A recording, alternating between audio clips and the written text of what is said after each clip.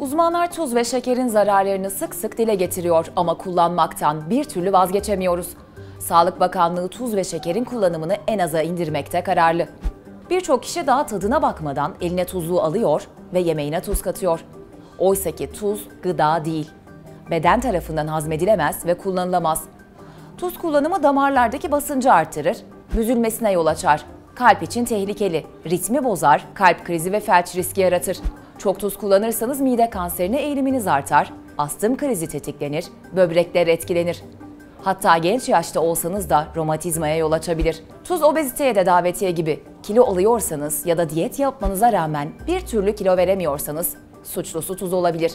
Zira 1 gram tuz vücutta tam 250 gram su biriktiriyor. Tuzu azaltmanız için size birkaç da ipucu verelim. Örneğin öncelikle sofradan tuzlukları kaldırın. Yemeği de tuz yerine baharatlarla tatlandırın.